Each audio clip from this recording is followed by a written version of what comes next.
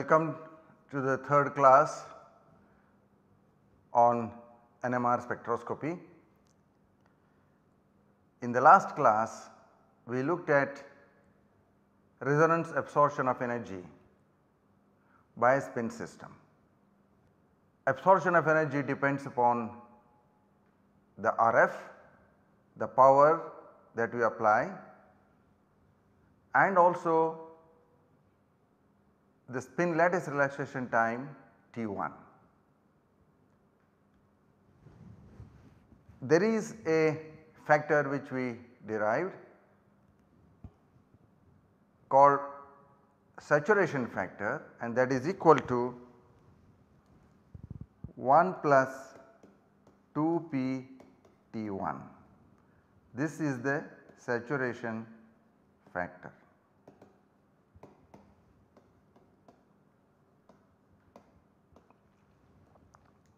We showed that in the steady state the population difference between the two levels is equal to n naught divided by 1 plus 2p T1 where n naught is the equilibrium population difference between the two states. So, if 1 plus 2p T1 is extremely large then n dash will tend to 0 and then it will lead to saturation and there will be no signal observed. In fact I said that was the reason why Gorter missed the Nobel prize. He chose a sample which has such a large T1 value that even at very low powers uh, the signal was getting saturated and he was not able to observe that. So therefore choice of the sample becomes important and here P is the transition probability which in turn is proportional to the power that we apply in the RF. We now go forward and ask are there any further restrictions in the absorption of energy. Some principles will have to be understood. In other words are there any selection rules for absorption of energy. Indeed there are some selection rules and this comes as a result of quantum mechanical treatment of the interaction between the spin system and the applied RF. This is called first order perturbation theory and the P what we used earlier can actually be calculated using this first, first order perturbation theory. We will not go into the details of these calculations, we will simply take this formula says P is equal to gamma square H1 square times a modulus square of a matrix element between two states m dash and m between which we are considering the transition of the spin system. Here Ix is an angular momentum operator x component of the angular momentum. It comes here as Ix because we have assumed that the RF is applied along the x axis. If it were applied along the y axis then Iy operator will come but that does not matter so far as the conclusions with regard to the P are concerned. Now to calculate this of course one has to go into the theory of uh, angular momentum operators we will not go into the details of that one. We will simply take the result which says that this element which is called the matrix element here of the operator Ix between the states m dash and m this vanishes unless the difference between m and m dash is equal to 1. What are m and m dash? m are the azimuthal quantum numbers of the spin i. We said m takes values from minus i to plus i 2i plus 1 values if the i for a given i. So, if i is equal to half then we have m is equal to plus half and minus half these two states possible. So, what is the implication of this? If I say m minus m dash modulus has to be 1, this implies only single quantum delta m is equal to plus minus transitions are permitted. Let us look at this in a little bit more illustrative manner. Let me write here i is equal to half I have two states alpha and beta. These for m is equal to half and this is m is equal to minus half. Suppose i is equal to 1 then I have 3 states here m is equal to minus 1, m is equal to 0 and m is equal to plus 1. If i is equal to let us say 3 by 2, how many states are there here? 2i plus 1 is 4 therefore there will be 4 states. Notice all of them are equally spaced the energy levels are equally spaced and here m is equal to 3 by 2, m is equal to half, m is equal to minus half and m is equal to minus 3 by 2. What is the implication of the selection rule what we uh, showed just now? That the transition between this is always allowed because here the delta m is equal to plus minus 1. This transition is allowed, this transition is allowed because delta m is equal to plus minus 1 for this, but this one is not allowed. So, delta m is equal to plus minus 2 not allowed. Let us look here. So, here there are 4 energy levels you can draw many transition possibilities here. This is m delta m is equal to 1 allowed, this is also allowed this is also allowed all of these correspond to m is equal to delta m is equal to plus minus 1. But if you took here this is not allowed likewise this one is not allowed and similarly this one is also not allowed. So, delta m is equal to plus minus 2, delta m is equal to plus minus 3 not allowed. These are the selection rules. These are the selection rules for RF induced transitions. So, we say when delta m is equal to plus minus 1 these transitions are called as single quantum transitions. Delta m is equal to plus minus 2 are called as double quantum transitions. Delta m is equal to plus minus 3 are called triple quantum transitions. There is also of course delta m is equal to 0 which do not come across here in this kind of spin system they will come later those are called as 0 quantum transitions those also will not be allowed by RF. See the same thing is stated here transitions between m is equal to m to 1 to minus 1 and vice versa is not allowed which is what I explained just now.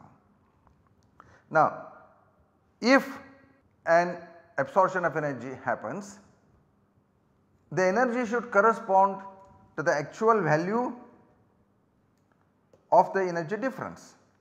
If this energy difference is delta E and if I call this is equal to h times nu where nu is the frequency of absorption then your nu has to be equal to delta E by h which is a single frequency. However, it does not happen this way. It does not happen always that absorption of energy occurs exactly one single frequency. It happens over a range of frequencies and these contribute to what is called as the line width. So, you see here the absorption of energy spans a certain range of frequencies. Signal will have a shape like this and see this is the central frequency at which energy should have been absorbed. But there is of course absorption of energy if the frequency is slightly different is here or here or here but of course the amount of energy absorbed will be different.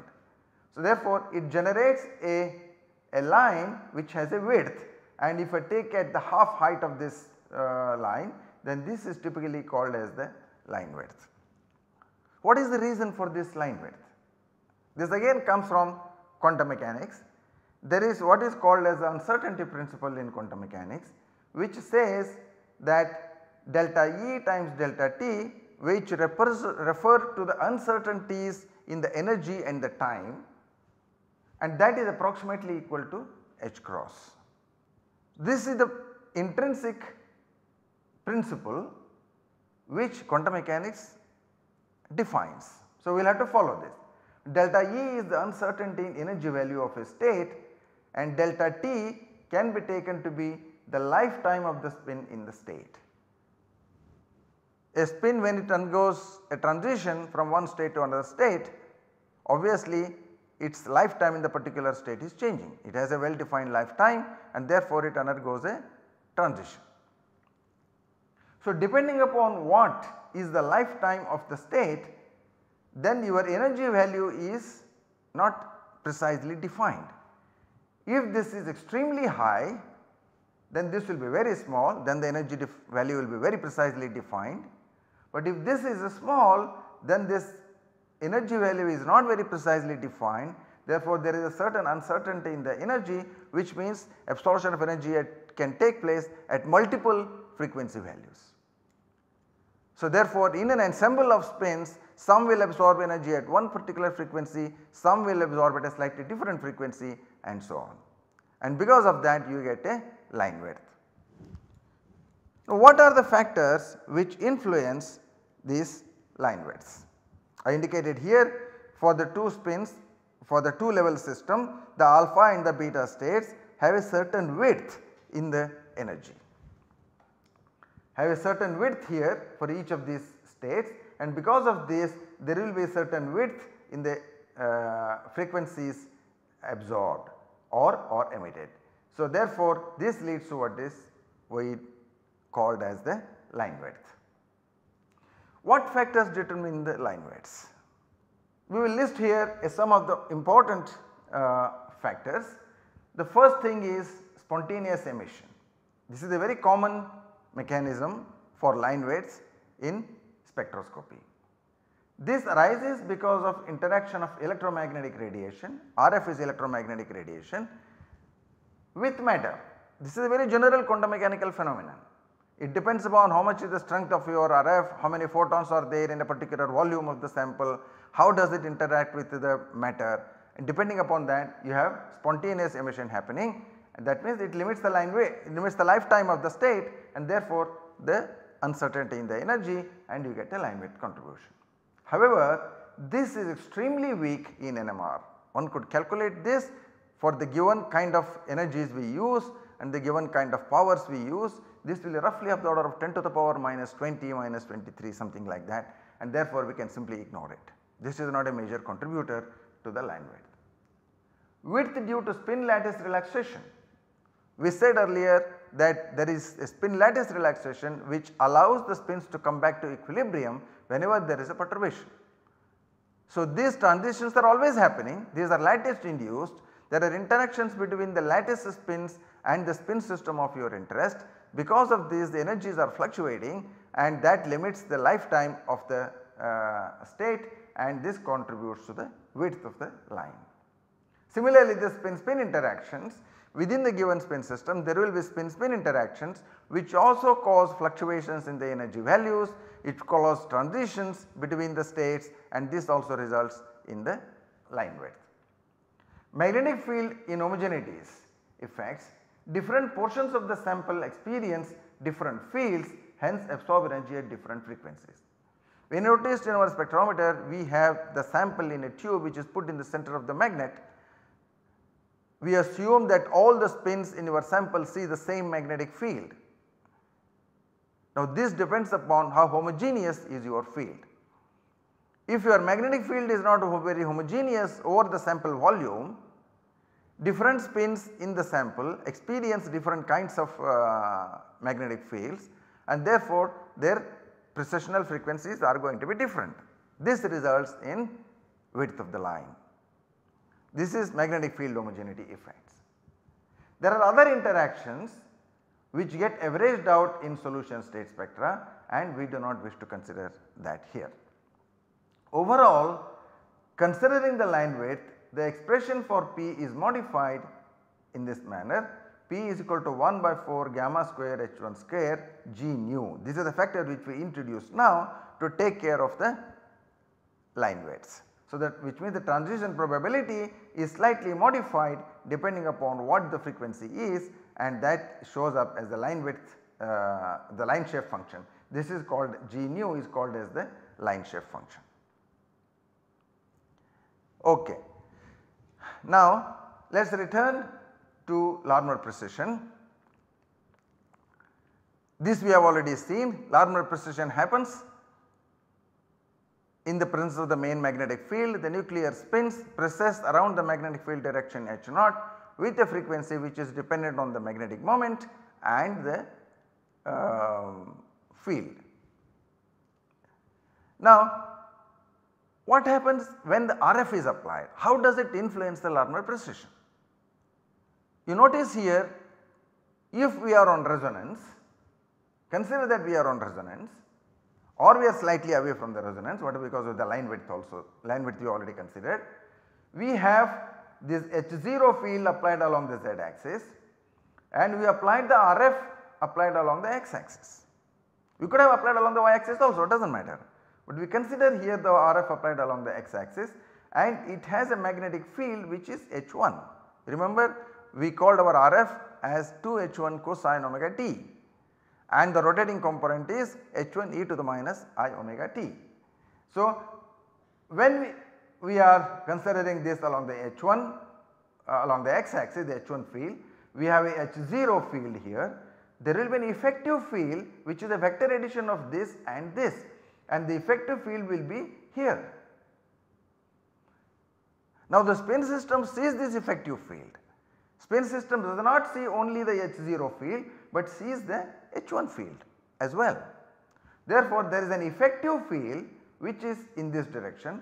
Therefore the spins will have to precess around this effective field. This is the cone. The cone which was here earlier now gets tilted to go like this all the spins are now on the surface of the cone described by this circle. So what is the implication of this? The magnetization now gets tilted because effective field is tilted. Remember the magnetization is along the magnetic field axis over a long period of time.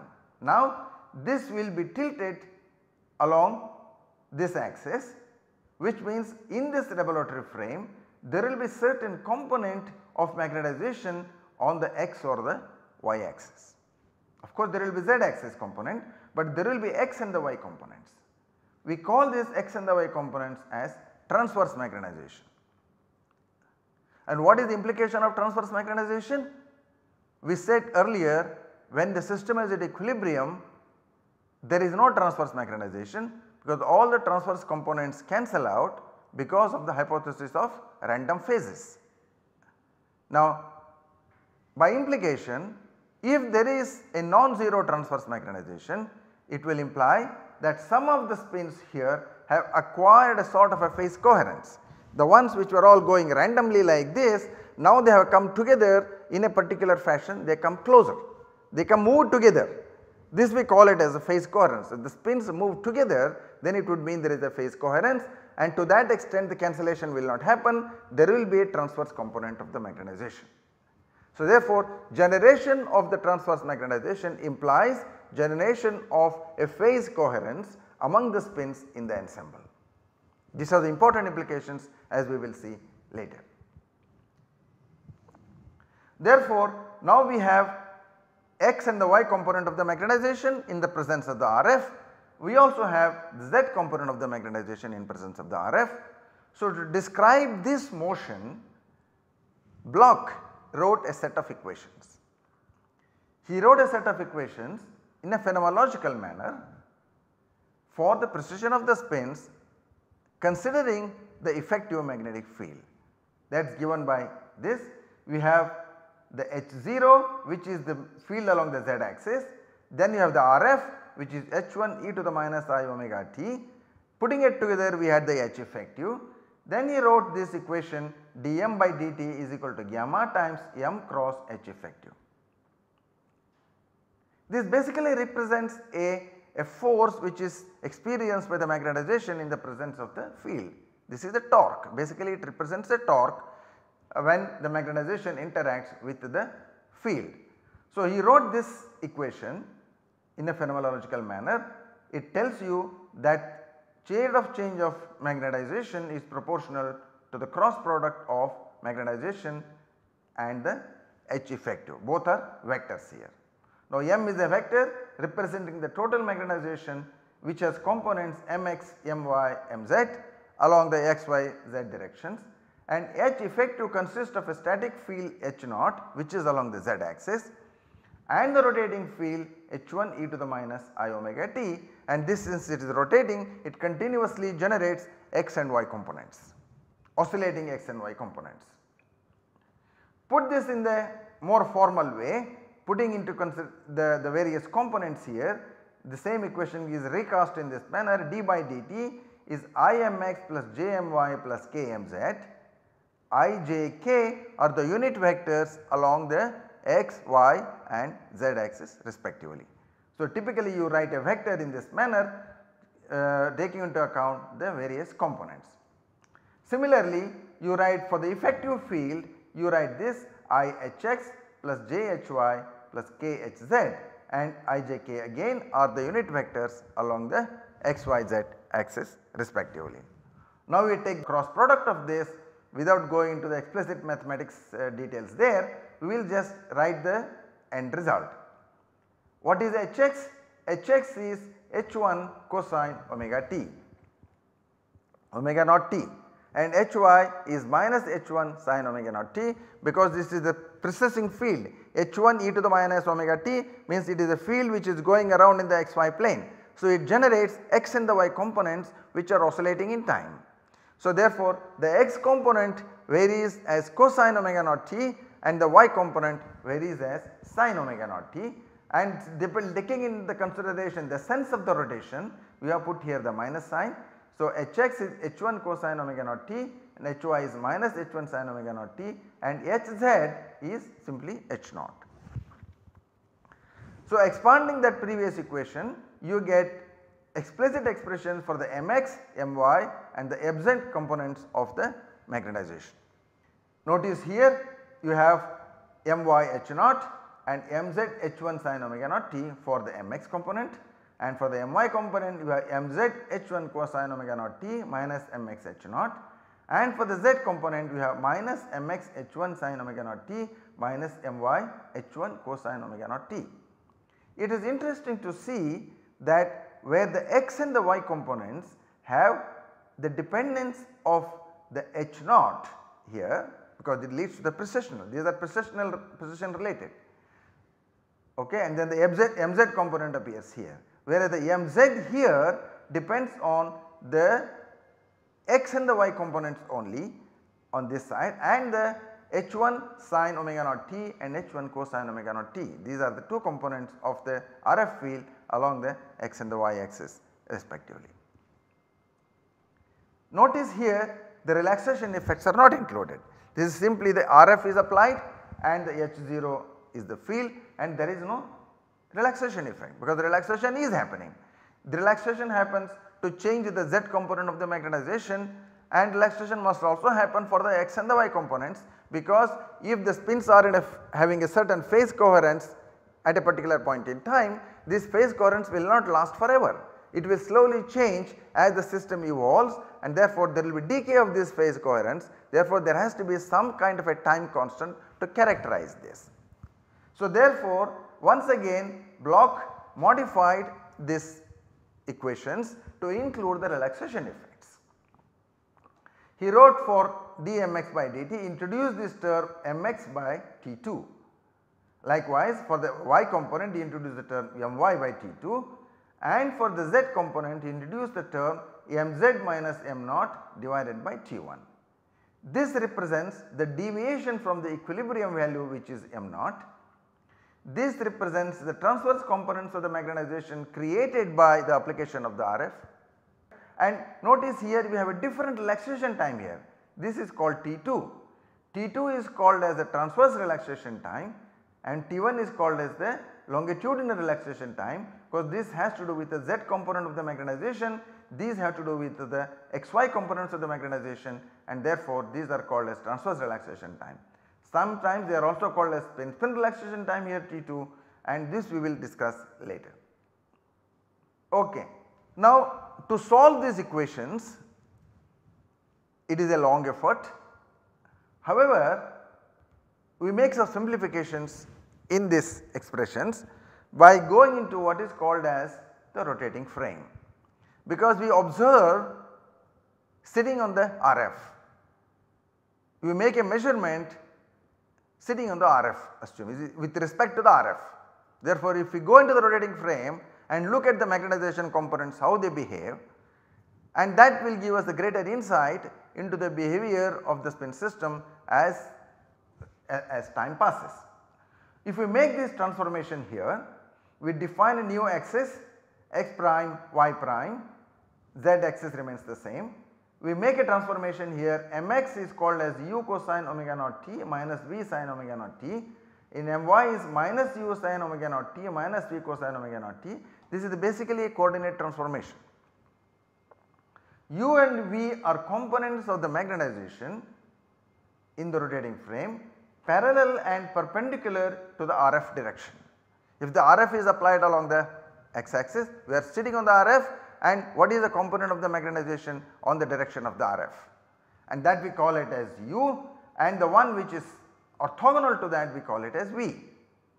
So, y prime component is V, the ux, x prime component is u dash and there is angle between them is omega naught t because it is with this frequency the RF is moving.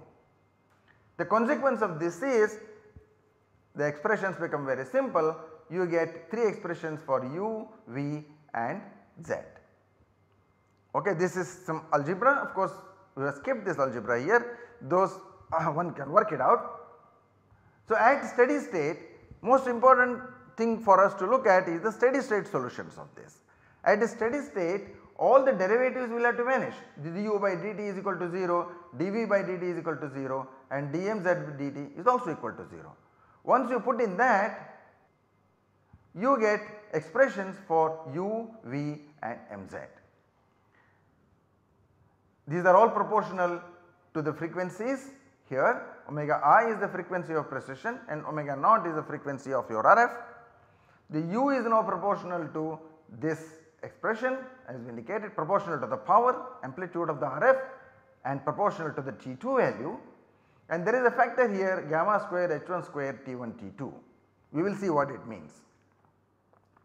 And this factor is common in all of these okay and mz represents the z magnetization how does it recover to equilibrium as a function of time and in this case of course we are talking about the magnetization in the rotating frame.